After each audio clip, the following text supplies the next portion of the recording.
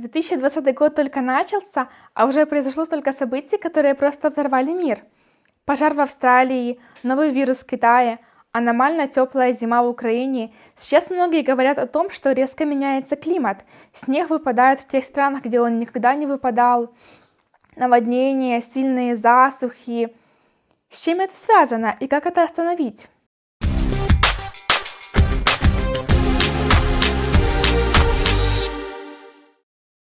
Сегодня со мной Сергей Головин.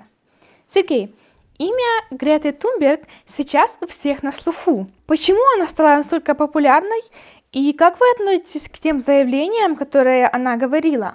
Ну, должен сказать, что выступление Греты Тунберг в ООН – это довольно хорошо спланированное шоу, угу. где девочка, не имеющая ни квалификации, ни понимания, из э, благополучной семьи, которая может позволить ради того, чтобы э, экономить выброс углекислого газа, приплыть на яхте.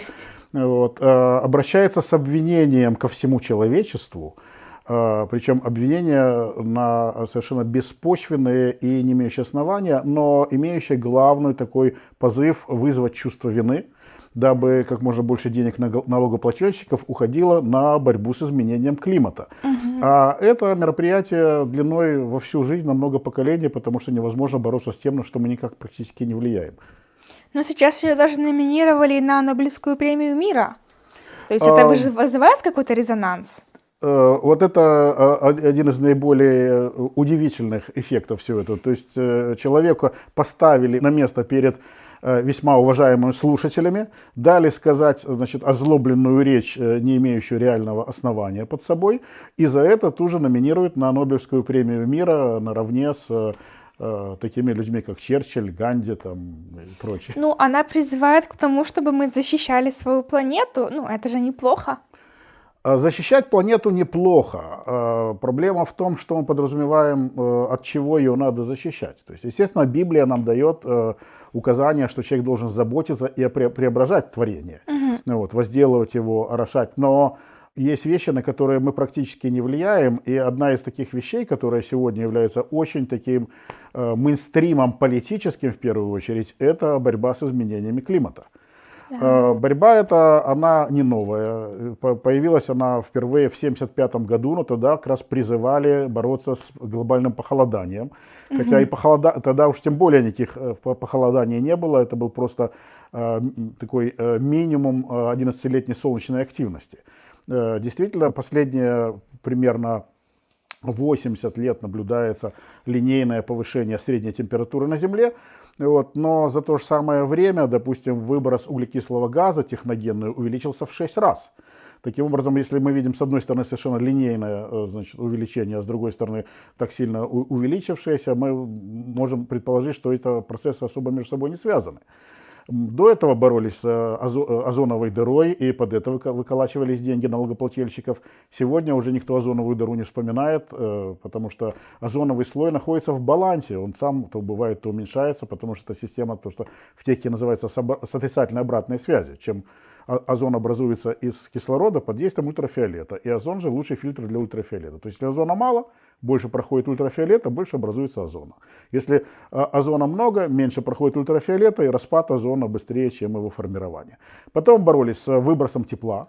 Вот, но извержение вулкана Эйофьюиляо-Кюдель в Исландии выбросило больше тепла в атмосферу, чем вся человеческая цивилизация за все время ее существования. Сегодня борьба с углекислым газом и с диоксидом углерода и парниковым эффектом, но это тоже, в общем-то, больше игра на неподготовленности публики, которая не понимает, что такое парниковый эффект и какую роль в нем играет углекислый газ. Да, я тоже готовилась к интервью и пересматривала разные ролики, и просто, ну, все кричат о том, что сейчас изменяется климат, что вот мы выбрасываем очень много углекислого газа, многие политики говорят об этом, и если даже говорить там о моде или о молодежи, все переходят на экологичность, то есть там пакеты, все, все вот такое зеленое становится супер-супер модным. То есть это просто какой-то хайп для чего-то. Ну, что вы об этом думаете? Но, с одной стороны, опять же, всегда нужно помнить, что не надо впадать в противоположную крайность ага. и заботиться об окружающей среде действительно нужно. Можно проезжать на машине поблизости каких-нибудь городских свалок и просто видеть это э, поле выращиваемых пакетов, которые ветром с этой свалки сдуло, вот, и которые действительно долго не разлагаются. И это нормальная тенденция замены полиэтилена. Полиэтилен уникальный полимер, который действительно не разлагается, ни с чем не взаимодействует. Замена его на те материалы, которые со временем разлагаются, те же пакеты на качественные бумаги, особенно из вторичного сырья. Да. Что же касается выбросов э, углекислого газа, то мы должны понимать, что мы-то напуганы углекислым газом, потому что нам рассказывают о истории, когда люди там угорели и прочее. Но на самом деле это не из углекислого газа, а из угарного газа. То есть не двуокись угу. углерода, а окись Просто углерода. путают. Вот, я немножко не понимаю.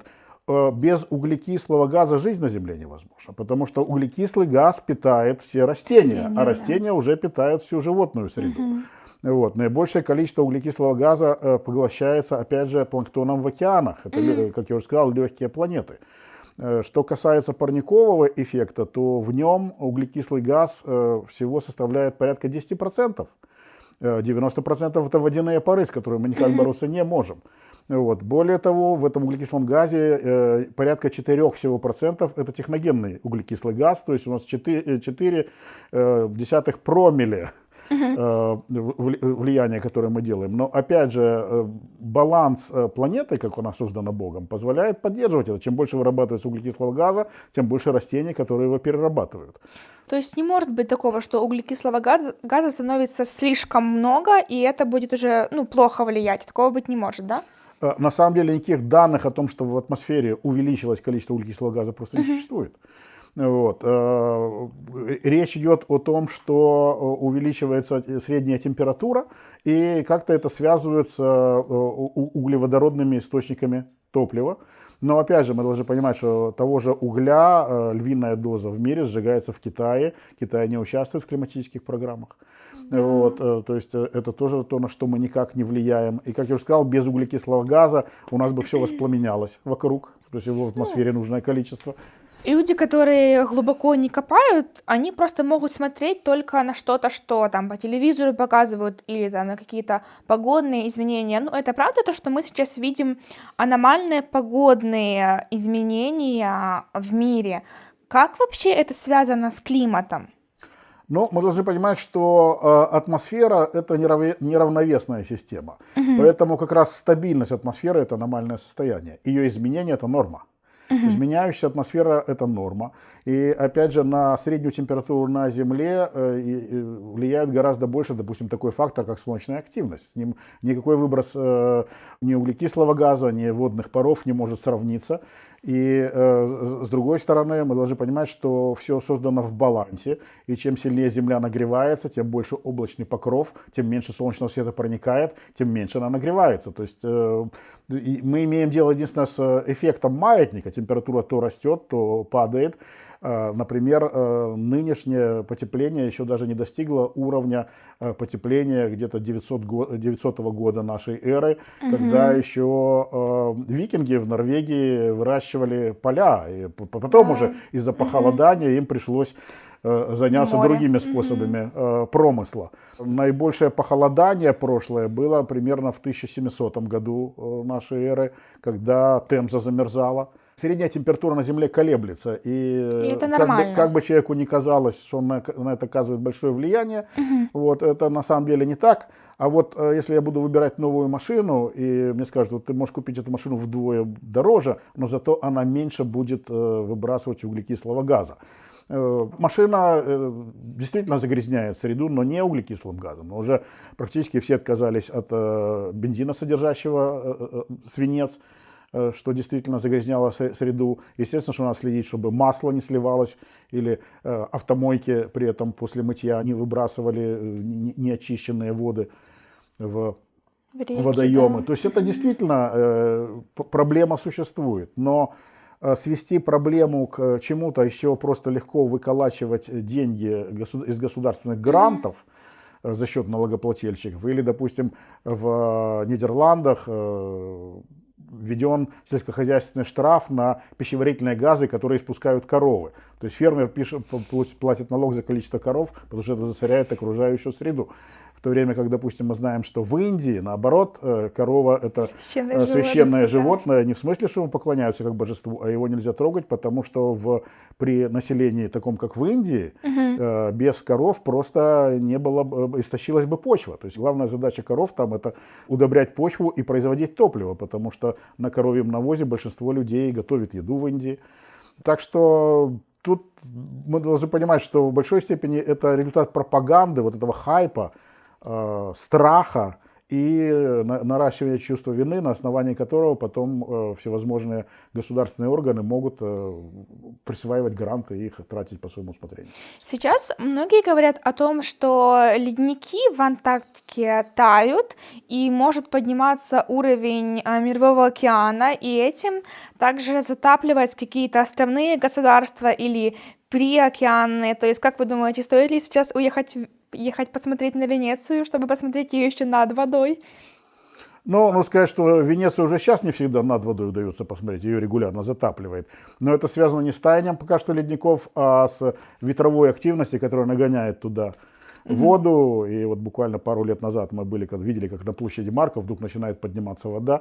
Вот, но благо мы не застали тогда потопа. А так, в общем-то, уже за последние два года дважды туристов э, эвакуировали из Венеции. А, ледники тают, это факт, э, но это опять же часть вот этой вот э, процесса. Э, на самом деле самым большим глобальным потеплением в истории Земли был всемирный потоп, когда огромное количество горячей воды вышло из недр Земли. К чему это привело? К тому, что было очень мощное испарение, мощный облачный покров, и в итоге очень теплые зимы, с обильными снегопадами, потому что снег падает, когда теплая зима, когда ну, да. мороз, снег не падает. Угу. И э, холодное лето, когда этот снег спрессовывался, но не успевал таять, и наступил ледниковый период. И mm огромное количество воды, которое вышло с потопом, она аккумулировалась тогда в ледниковых шапках, э, причем не только в Антарктиде, но и на севере Евразии, в Гренландии. Угу. Потом пошло таяние этих ледников, и, допустим, э, затопляемые целые острова, государства, та же самая Атлантида. То есть вы а, считаете, что Атлантида существовала, да? Э, ну, даже, в общем-то, сейчас найдено предполагаемое археологическое место ее нахождения mm-hmm. на дне моря, благодаря, кстати, Google Maps. Серьезно? Вот, да. А, а где? Да, в Атлантическом океане, примерно там, где Аристотель описывал ее местоположение. Вау.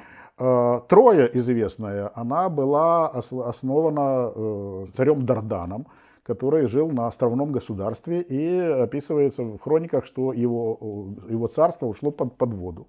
А то есть это было повышение, повышение уровня. Да? А? Атлантида. Нет, это уже, э, это уже царство Дардана, это ага. все в Средиземном море. Ага. Вот, и он высадился на суше и основал город, назвал его в честь своего сына э, Троя.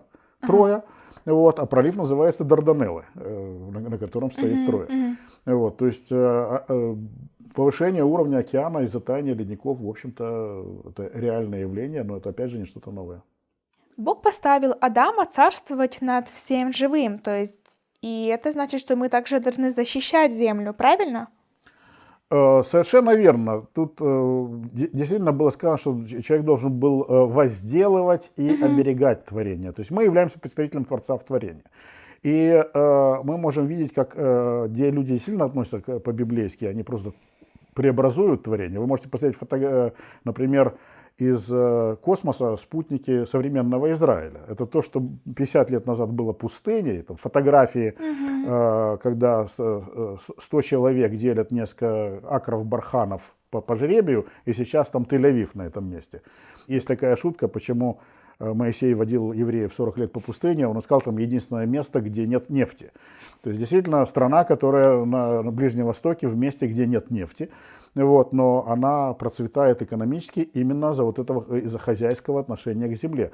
Особенно интересно видеть, э, опять же, на спутник, на снимках из космоса вокруг пустыня, а вот эта зеленая полоска Земли, Особенно вот резкая граница между, э, это граница сектора газа, где просто Палестина. желтое с одной стороны угу. и зеленое с другой стороны. Это просто разные отношения к земле, как Божьего представителя, который, э, кому она дана для преображения, и люди, которые хозяйничают на земле, в смысле э, ее эксплуатируют. Но где вот эта граница между тем, чтобы как бы разумно охранять землю и возводить охрану или защиту в какой-то культ или как новую религию?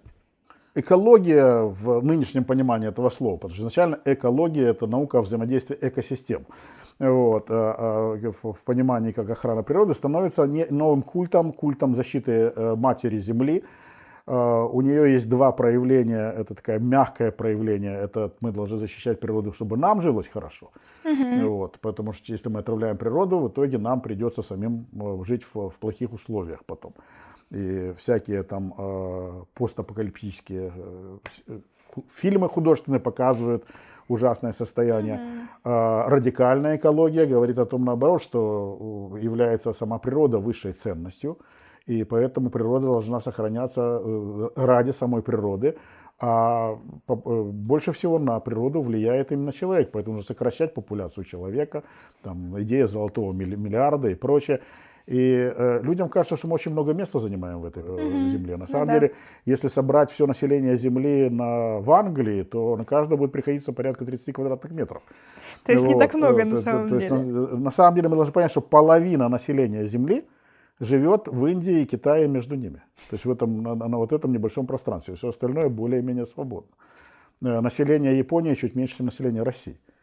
Притом да. э, при, при, при сравнительной территории Японии и территории России. То есть это, не так-то много мы места занимаем. Угу. Но действительно многие говорят про защиту. Даже Папа Римский выпустил вот э, такую информацию, э, энциклика Лаудата Си, которая говорит о климате, о защите. То есть нам даже как христианам нужно ну, беспокоиться об этом, потому что как бы это место, на котором мы живем. Но мы должны видеть разницу между понятием, происходит подмена понятия э, забота о природе и забота о климате. Угу. Климат на то, что мы в принципе не влияем и повлиять не можем. Вот. Но э, на, на это можно тратить усилия, самое главное, средства налогоплательщиков бесконечно. Забота природы – это то, что нам действительно заповедано, но это забота каждый на свой, вокруг своего дома. Угу. Вот я не должен ждать, пока правительство придет и уберет возле моего дома. Хорошо. Человек ничего не может сделать для того, чтобы изменить климат. Но почему в последнее время так много таких каких-то катастроф экологических, то есть там наводнения, огромные пожары, землетрясения происходят, которые пугают очень человечество, и он не может этого никак изменить? Э, Наверное, пугают это ключевое слово. То есть угу. пугалки распространяются с огромной скоростью. Э, мы сегодня уже живем не в постмодернистском обществе, а в репостмодернистском обществе. Кто-то что-то прочел в интернете, тут же это перепостил. Яркий пример пожара в Австралии. Да, уровень пожаров в Австралии в этом году больше, чем в предыдущие годы, причем это имеет, опять же, чисто политическую причину. Потому что к власти в Австралии пришли люди, борящиеся за окружающую среду, и запретили э, вот эти вот санитарные палы, которые регулярно проводились. Саванна там горит регулярно, ежегодно. Санитарные палы позволяли, позволяли это делать контролируемо. Потом их запретили, теперь неконтролируемые пожары, но в итоге они процентов, может быть, на 20, на 10 даже больше, чем обычно.